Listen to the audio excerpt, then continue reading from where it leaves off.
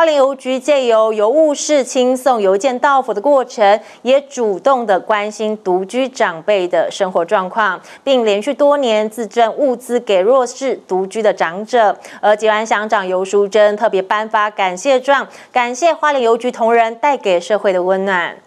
每次邮差送信经过家门，一句问候总是让独居长辈们倍感温馨。华联邮局也借由邮务室送邮件到府的过程，扩大关心长辈们的生活状况。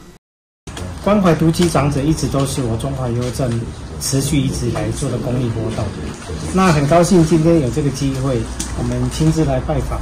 亲自来关怀我们这一位姐姐。我称呼姐姐应该还好。那平常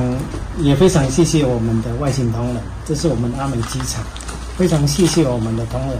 在送信啊，在投递的途中，也都未来个别的关怀。我们也希望我们在地的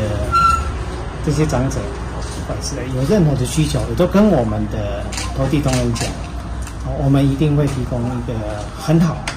虽然不是我们主要的业务，但是我觉得这是一个非常有爱心、非常棒的一个服务。花莲邮局连续多年赠送生活物资给吉安乡的独居长辈，乡长尤淑珍特别感谢。邮递幸福，让爱日不落，也让关怀分送到巷弄邻里。谢谢我们今天花莲邮局带来我们吉安乡中低老人独居的一个关怀户的关怀。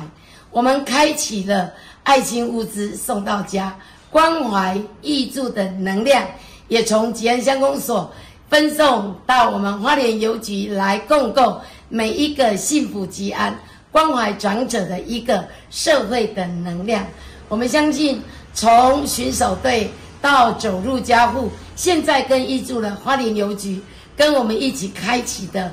独居老人关怀，我们相信银法乐活在吉安。谢谢我们一起共同凝聚社会的力量，一起推展吉安的关怀。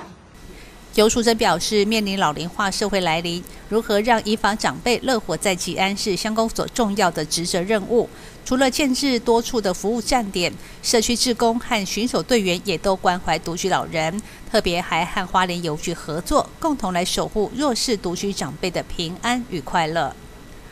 记者吕慧娟向报道。